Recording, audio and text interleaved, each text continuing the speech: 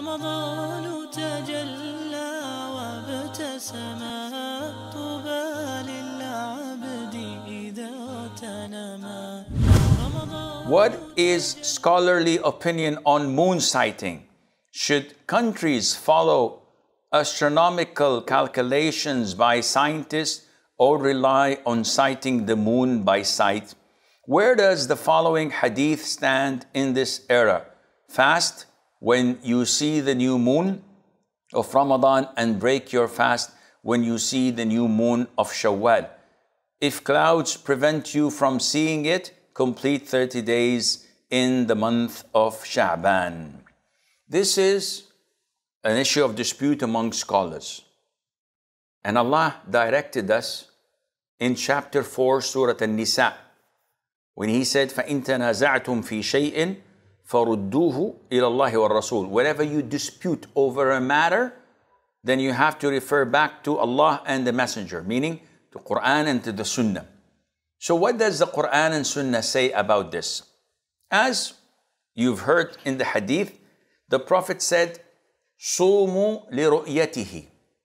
Fast when you see the crescent, the new moon.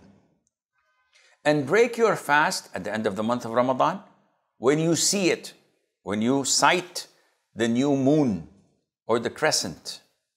So this is the instruction of the Prophet ﷺ. He clearly directed us to visually see it. So this means that the calculations of people who work in astronomy, when they say that the new moon is born on that particular day and impossible to be born on that day, should we believe them? Or two witnesses who come and say, we visually saw it? The most authentic opinion is that Islam is a religion of simplicity.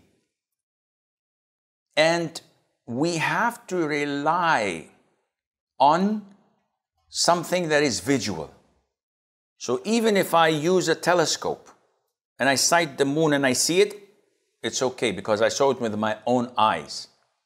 But to claim that according to calculations, today the new, the new moon is born and I look and it's all cloudy, it's dusty, there's a storm, there's no possible way to visually sight the moon.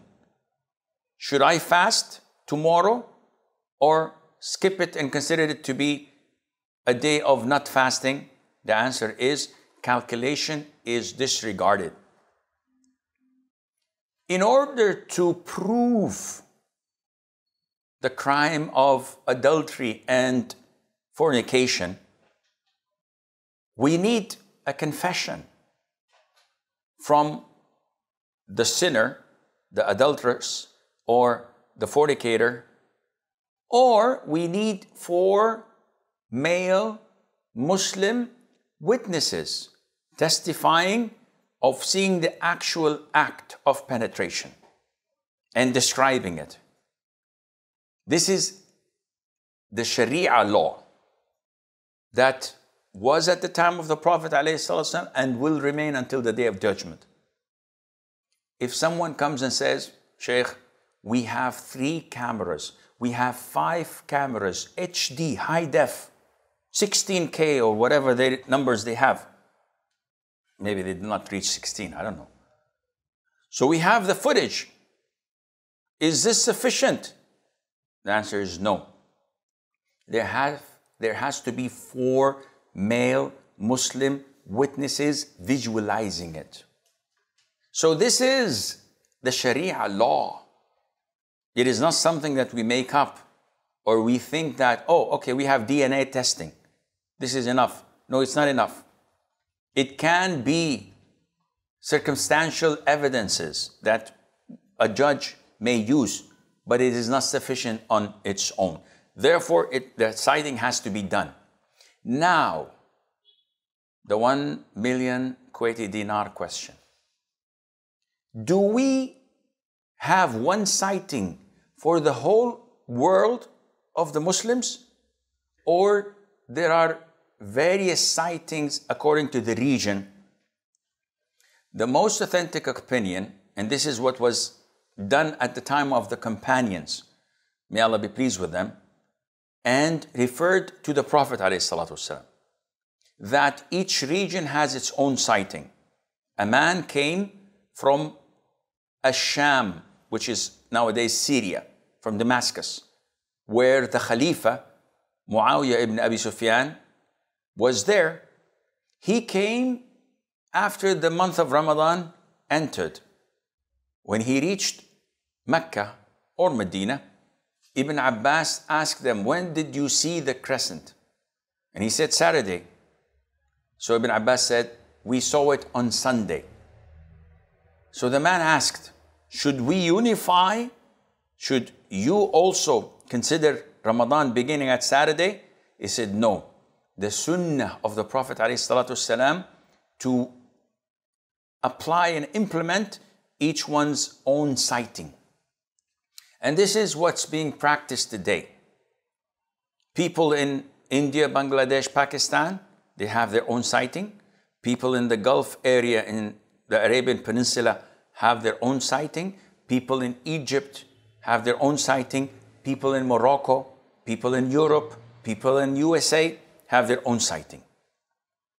One says, Akhi, but this divides the ummah. When their Eid is on Saturday, my Eid is on Sunday, their Eid is on a Monday. The Ummah is divided. Akhi, this is not true. This does not divide the Ummah.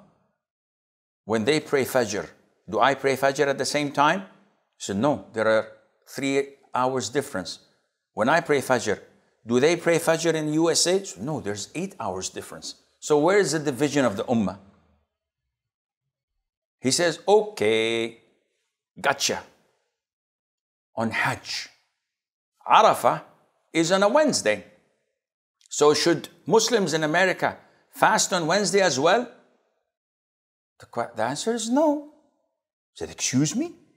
I said, the answer is no. Read my lips. Wednesday is the ninth of Dhul Hijjah in Saudi Arabia, in Mecca.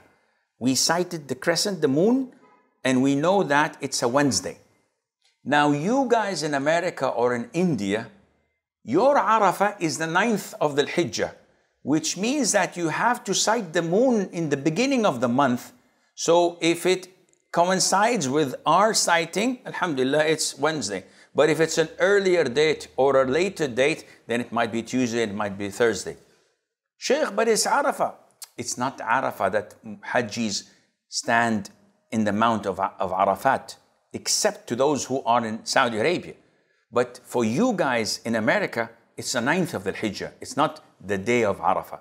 The ninth of Dhul Hijjah depends on when you see the newborn uh, uh, moon, not like ours.